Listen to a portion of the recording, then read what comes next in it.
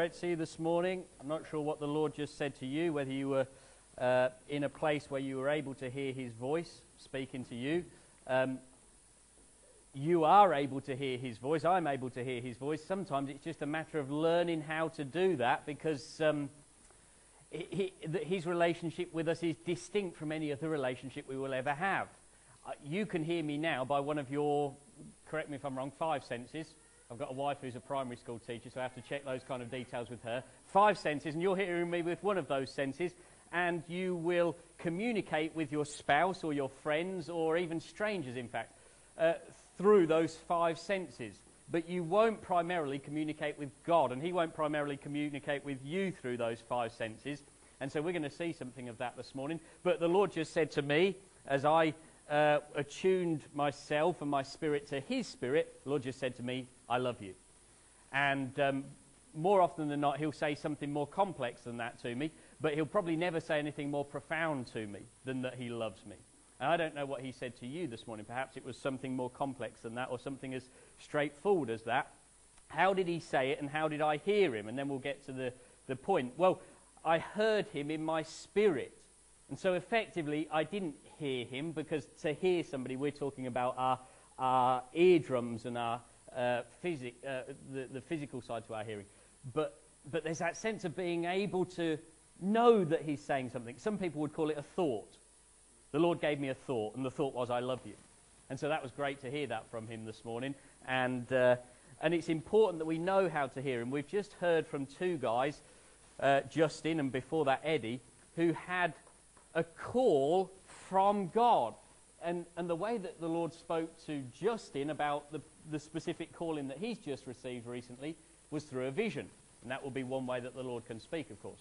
For Eddie, it was far more circumstantial if you listen to his story. It was, for, well, first off, it was the sad, uh, in one respect, uh, experience of his wife dying, but then a perfectly normal telephone conversation from somebody who asked him to go to Africa which wasn't normal, as he said. It was actually God in the mix, stepping in on the situation and giving him a call. And um, Eddie was willing to respond to that. And in response, it was a simple hearing what God was saying. Anyway, turn in your Bibles to Psalm 78, and we'll, we'll come and we'll draw those things in, and we'll see how God has been moving this morning and how he's going to move and speak to us through his word. Psalm 78. Uh, we're, we're looking at the call of David, King David, this morning, who wasn't always a king, of course, as we'll see in a moment. But um, just before we get to him, I'll just tell you of a time when I received a call from the Lord. Uh, a call in a similar way to Justin, in a similar way to Eddie, and some of you know exactly what I'm talking about because you've received a call from the Lord too, and, and you could perhaps put a date on that or not. I can't honestly put a date to this call, but that's not the important thing. Uh, my youth pastor, who was probably mid to late 30s at the time, shared a message not too dissimilar from what I'm about to share this morning, though in completely different ways and from a completely different scripture. But, um, but the message that he shared was just to us young people, probably 50 of us at the time, was that the Lord had a specific call for every single one of our lives, an individual plan for us. And I'd been raised in church, but I'd never heard that message before. So that blew me away. I hadn't been saved long, probably months. And, uh, and so I went home, and he said, All you need to do is ask the Lord what his call is for you, and the Lord will tell you. He said, You'll have to be patient. You'll have to be still, which is kind of what Lucas was getting us to do this morning, to be still in the presence of God so that we can hear him. Um, but he said, In your time, and then in God's time, just listen to what he has to say for your life and allow him to unfold and progressively reveal that plan to you. So I went home in my bedroom in Barton, Northamptonshire, and said, Lord, I'd really like to know what your plan is for me. I've not been a Christian long, but if you've got a plan for me, and so I, have heard tonight you do, and so I believe that you do, I'd like to know what that plan is. And so there and then, I felt again in my spirit, it wasn't an audible voice of the Lord, though he can do that, but he rarely does. And you probably will never hear his audible voice on earth, and I probably never will either not to rule it out because, as I say, he can and he has done. Uh, but he, in my spirit, he said to me, I'm calling you to be a preacher. I'm calling you to preach the gospel. In effect, he could have said that to any one of us. But it was important to me to hear that. And so uh, after that, I prayed and uh, shared that with my youth pastor, who got me to share it with our other pastor of the church, Ian Hicks. Some of you know him. And so they uh, prayed for me and encouraged me to go off to Bible college, and the rest is history. That's where I met Esther and my wife and all the rest of it. But uh, he was actually preaching from Jeremiah 29, verse 11, which many of you know. Uh, I know the plans I have for you, says the Lord. Plans to prosper you, not to harm you. Plans to give you a hope and a future. And that's become one of my life verses. Psalm 78 says uh, of David's life, we're, we're looking at verse 70 down to 72 because it's a long psalm and we haven't got the time to read it all. But in that psalm, uh, the psalmist is uh, remembering and recalling the history of Israel. And then at the end of the psalm, he comes to David. And in verse 70 of Psalm 78, we read this that the Lord chose David his servant. He took him from the sheep pens. From tending the sheep, he brought him to be the shepherd of his people Jacob, of Israel, his inheritance. Um, David literally was a shepherd, is what the psalmist is saying. Uh, he literally shepherded sheep and cared for them. And then finally, in, in, verse 72, it goes on and says, And David shepherded God's people with integrity of heart and with skillful hands. He led them. Uh, I believe what, in fact, I don't believe, I know that what is true of David in that psalm there is true of you and I this morning. I just want us to briefly look at the truth over your life and over my life from the life of David. The first truth is this that you and I, we have a calling on our life. I've already sort of uh, unpacked that truth a little for us, but every one of us have a calling on our life. Some of you know what your calling is. Some of you are living in the fruit and the fullness of that calling on your life. I'm guessing there are probably some here this morning who don't know what your calling is. I'm guessing there are possibly some of you who came in this morning not even realizing that God had a call for your life. And perhaps you knew and you imagined that God had a call for Lucas's life because he's a, called to be a pastor, and so that's important. Uh, or perhaps you thought, well, he must have a call for whoever's preaching this morning because, of course, preaching's important. But the reality is that being a school teacher like my wife is a calling that is just as important as standing up here and preaching or leading a prayer meeting or whatever else it might be. I don't know what your job is.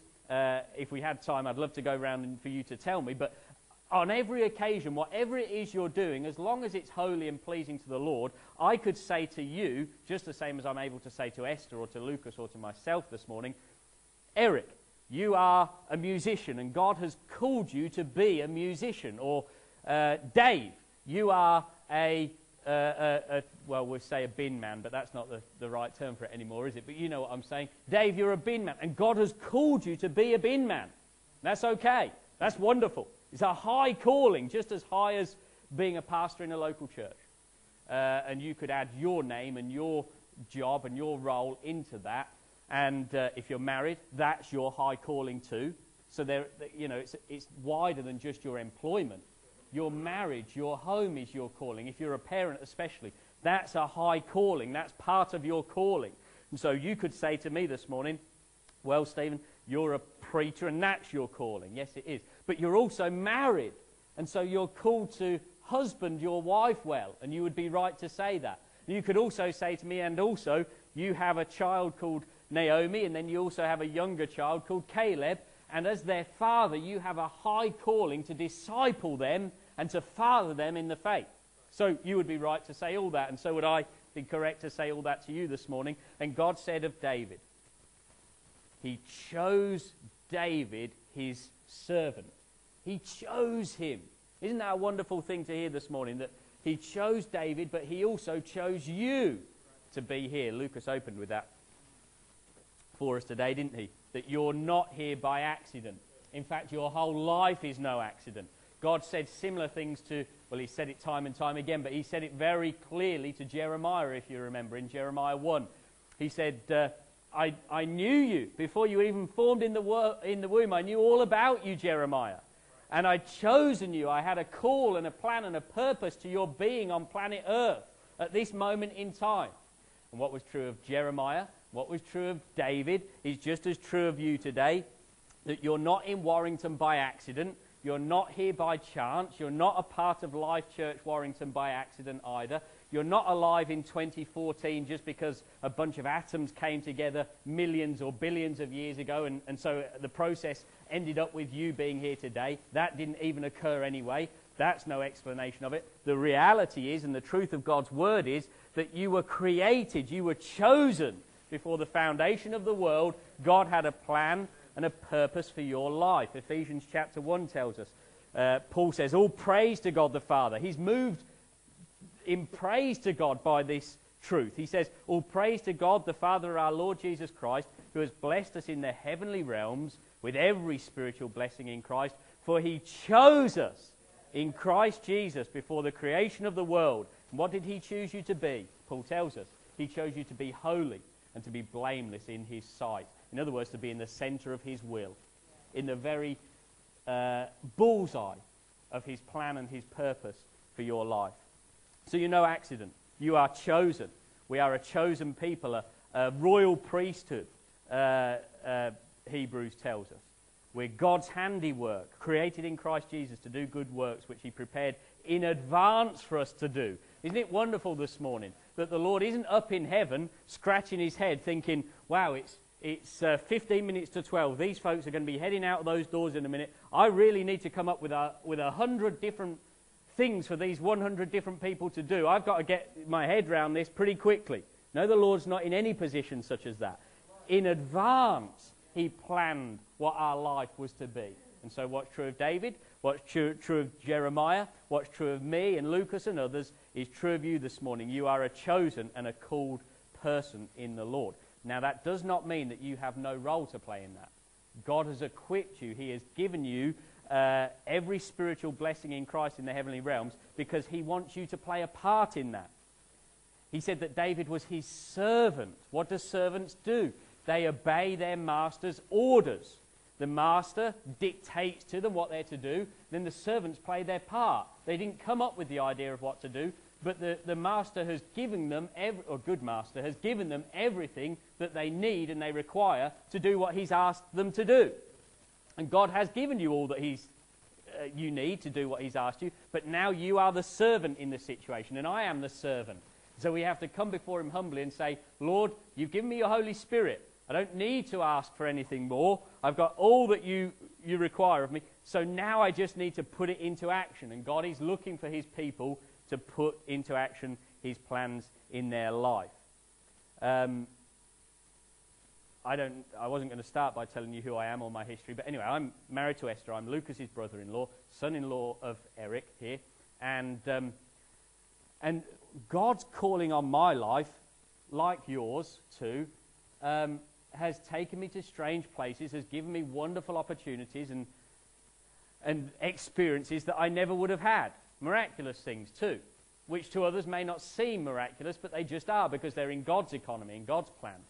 And, uh, and among those things, for Esther and I, it's meant that we've traveled up and down England preaching in different churches. It's meant going to Ireland on numerous occasions to preach.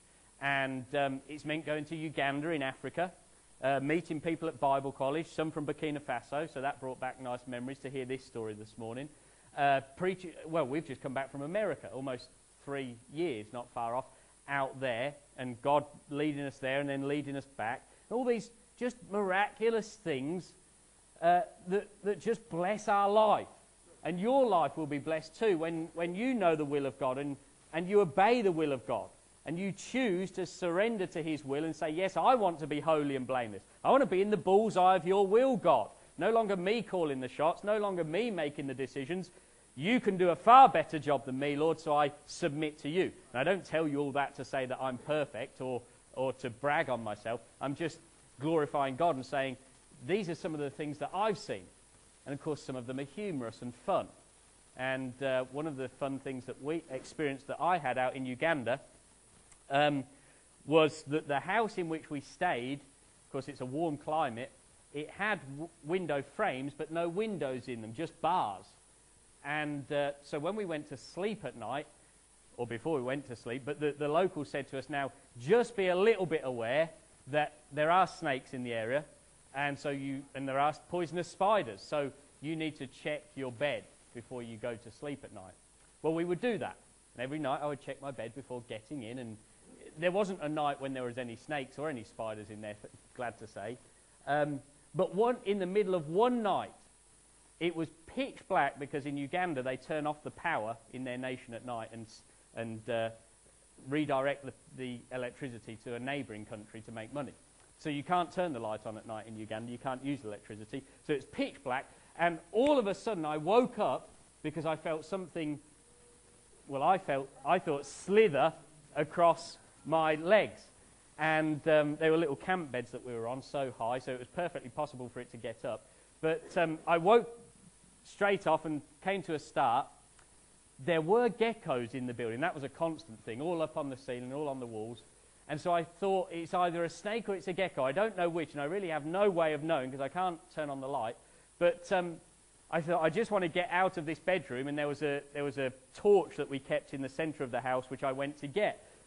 As I walked to get the torch, that was bad enough, but um, because it was pitch black, I couldn't see a hand in front of me. I was sleeping in the room with an ex uh, Royal Marine, big, very big guy, and unbeknown to me, he'd gone to the bathroom in the pitch black the, around the same time as I woke up. So as I was heading to the doorway, he was coming back through the doorway. He was the kind of guy who could kill you with his bare hands.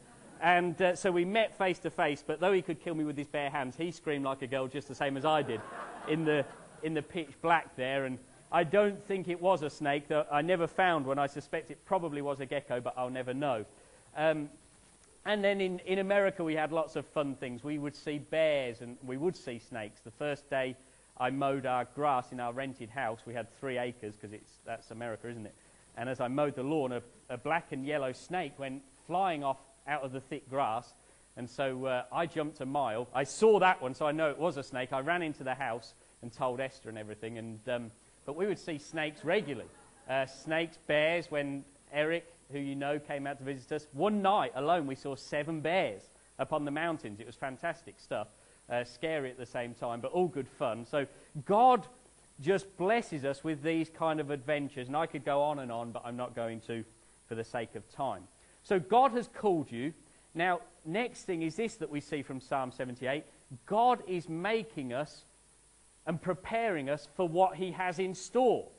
Because He wants us to be, the word would be competency. He wants us to be competent to do all that He's called us to do. And so um, when he first calls you to something, of course, you're not the finished article, and neither am I. Neither was David. That's why he had all this sin going on in his life. He wasn't perfect. He still needed the grace of God. And so do you and I. Uh, but God is preparing us for the work that He has for us. I still remember the first sermon I preached would have been, I think, 1996, the year I was saved, uh, at the church in Wellingborough. And I remember it because um, it was on Psalm 23, and I wrote it out word for word, uh, verbatim, read it verbatim, and, and I read Psalm 23 at 100 miles per hour, preached my two page sermon at 200 miles per hour, and within five minutes it, it, was all done and dusted. And I'm sure the people loved me for it that night, didn't they? Um, but uh, the pastor afterwards encouraged me, and he said, The very first sermon I preached I did exactly the same thing. I read the scripture fast and then I preached my message even faster. And he said, that night, my church, it was in Wales, he said, my church actually got me back up and they got him to preach and read the scripture all over again. So he preached the same message twice, but he was kind enough not to make me do that. But again, my point is, that first sermon, you know, I wouldn't preach like that today. Um, again, not bragging on myself, but you just learn, don't we? We grow in the things that we do. You're a better teacher today or a better typist today or whatever it might be because you've done it long enough to mature in what God has called you to do.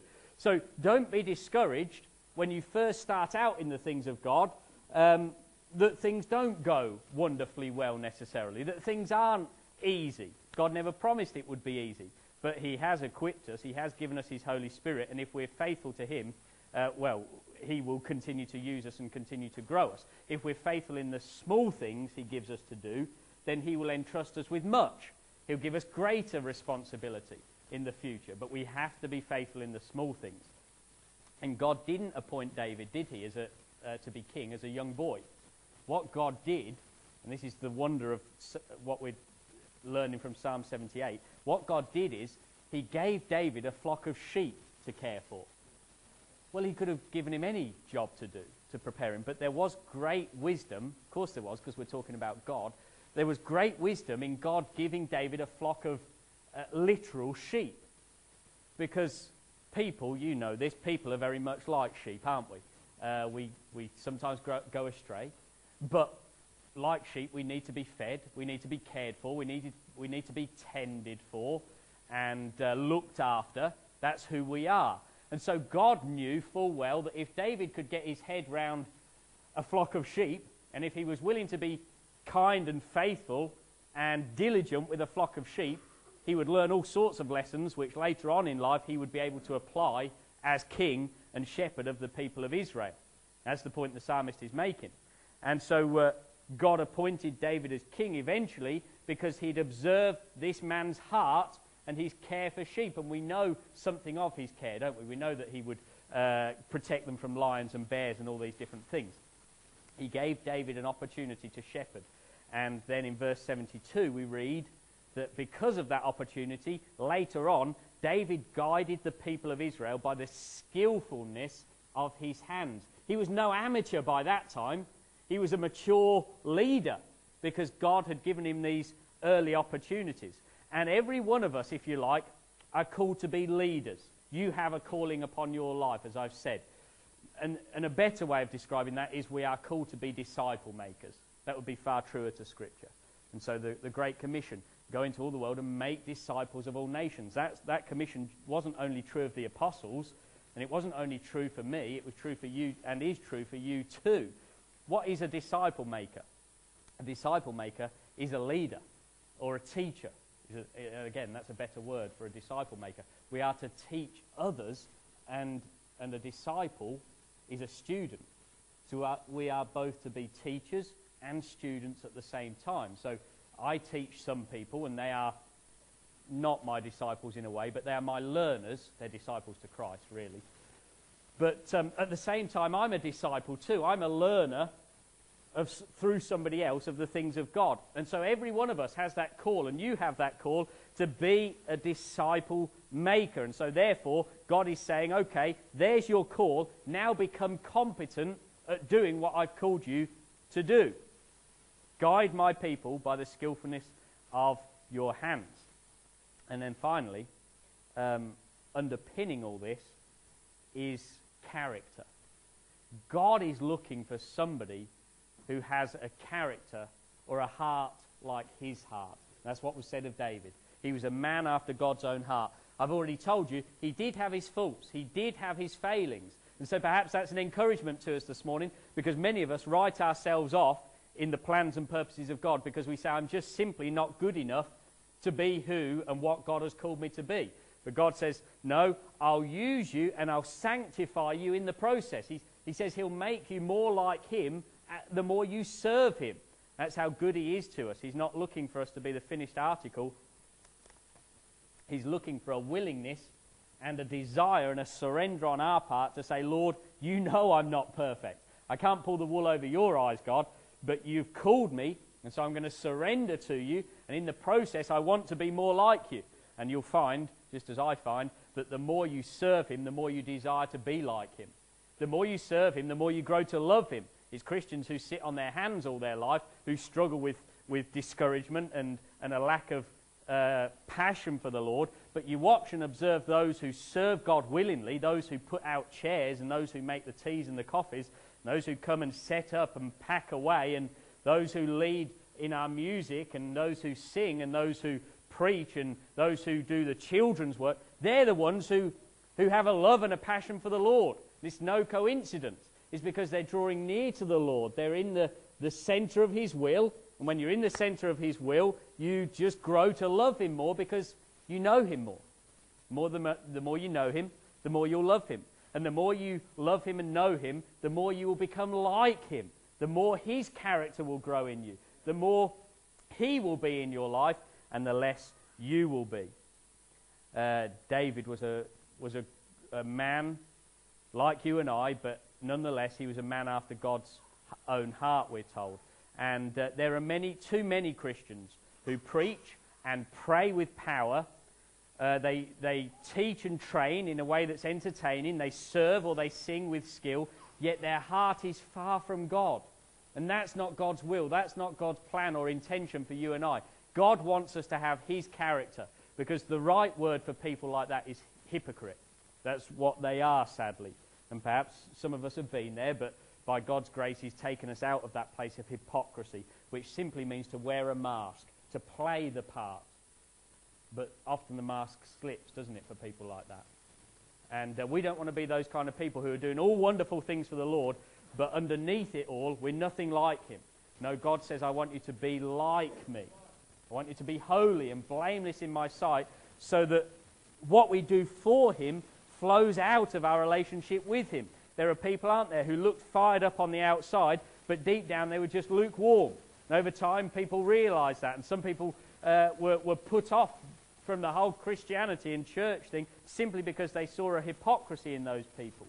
And, and that's not what God has for us. No. Oswald Chambers said, uh, the famous preacher, he said, Don't let your calling take you where your character can't keep you uh, we, we must develop a character so that when we know God's calling and when we are becoming more and more competent to do His calling, our character is enough like Him to sustain us in it. Otherwise, we simply become those hypocrites and we fall into sin because I can guarantee you this that as you do the Lord's will, you will come under attack. The devil will take notice.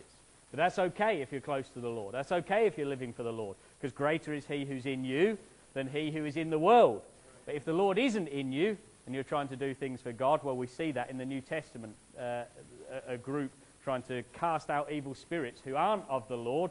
And lo and behold, the devil gets a hold of them, and uh, a, a, servant of the devil, a demon, gives them a good beating because they had no protection. But uh, you and I can take on the devil, we can take on demons because we're not doing it in our strength. We're not even doing it in our character, our fallen, sinful nature. No, we're doing it in God's character we are becoming like Him, and so we know His authority when we're living for Him, when we're living out His calling. We don't do it in our authority. We do it with His authority, and therefore we do it with His power. And uh, so He sustains us and keeps us. Some people put a smile on in church and they go home and they watch a violent, sexually explicit, blasphemous movie, but not for you and I. No. Some people carry a big Bible. They proudly quote their memory verses, but then the rest of they, the week they leave their Bible on the shelf and uh, blow off the dust when it comes round to Sunday again. Some people sing and lead worship in churches. And then they go home and in the car they listen to unwholesome uh, music the rest of their week. But no, that's not for you and I. That's not good enough for the person, the man or the woman of God. Some people preach and pastor, but when nobody's looking, they get drunk. Or they look at sinful websites, or they go out and commit adultery. It's a sad truth. I wish it weren't true. But you and I both know people uh, whether we know them personally or through the internet or whatever, we know people who've lived those kind of dualistic, uh, hypocritical lives. But that's not for you and I, the true people, chosen, called people of God. Peter says. People who are called and chosen servants of God do this as we close. He says they add to their faith goodness. And so you will do this kind of thing because you're called. Those of you who are saved this morning, those of you who are not saved, well, you are called. You have a call, and God has brought you here for this reason this morning, so that you could know His saving power, so that you could start to live His will for your life by receiving Jesus not just as Savior of your sin, which is true, but also Lord and Master of your life. Uh, and then you, like us, you will add to your faith goodness, and to that you will add knowledge, uh, Peter says, and to that you will add self control, and to that you'll add perseverance and godliness and mutual affection. And uh, to mutual affection, you will add God's love, Peter says. So there's a start of the kind of characteristics that will be evident in your life to a lesser or greater degree right now because you're not me and I'm not you. But as long as you're growing in the Lord, those characteristics will become more and more a part of your life. So, we're just about out of time, but God says He has a calling for you. And God doesn't just say He has a calling for you and He's leaving you to your own devices. No, He says, I have a calling for you and I'm preparing you so that you'll be competent to fulfill and to flourish in my calling. Uh, however, He says, you need to develop godly character. How do we do that? Well, uh, we, we spend time with Him, don't we? We read His Word, we pray, we gather regularly with God's people, we uh, seek to be filled with His Holy Spirit by praying in tongues and using our spiritual prayer language. Uh, we sing psalms and hymns and spiritual songs in our hearts, at home and in the gathering. All those things are causing us to uh, be like Him and to be able to see His will flourish and grow in our life. Let's pray for a moment, shall we?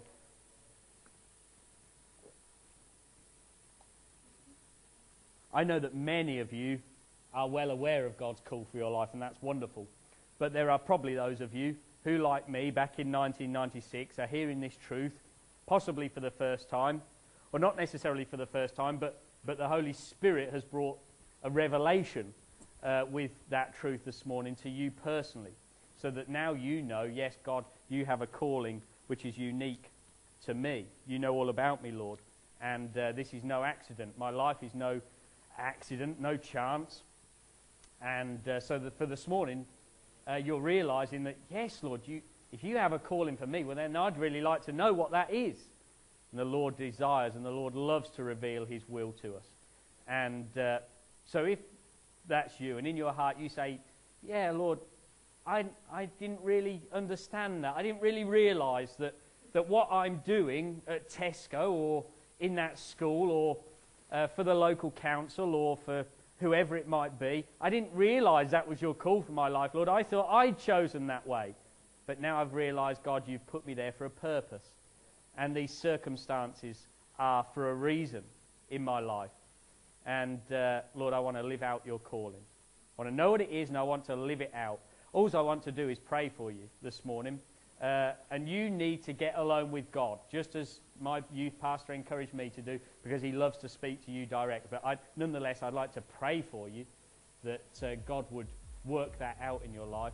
So perhaps, just as we close in prayer, if you sense that this morning, that the Holy Spirit has spoken to you in that way, perhaps you'll just put your hand up in the air and then straight back down for me, and I'll be able to pray for you, and you can, thank you, well done, and you will go home, amen, and you will say, Lord, what is it that you have for me? Thank you, wonderful.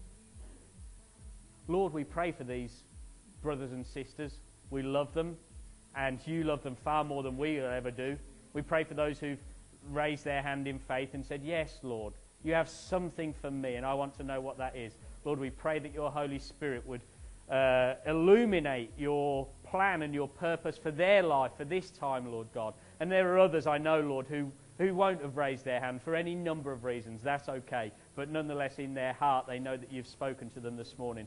You've confirmed to them that you have a calling for their life, a wonderful, glorious calling, and that they know that you are making them and preparing them, and you have prepared them to do your will, and that you are building and you are growing your character in them as you conform them to the image of your Son. So, Lord, I pray for everyone here today, myself included. We come before your throne boldly, Lord God, worshipping you, adoring you, giving thanks to the Father through our Lord Jesus Christ that you have a plan for our life, that you've saved us, that you've brought us into your kingdom, Lord, uh, from darkness into your wonderful light, as we read earlier, Lord God. And we just pray that you would have your will in our life. Lord, we surrender again to you today. We submit to your will, Lord God, even though at times we don't understand it, even though at times it's very much not easy.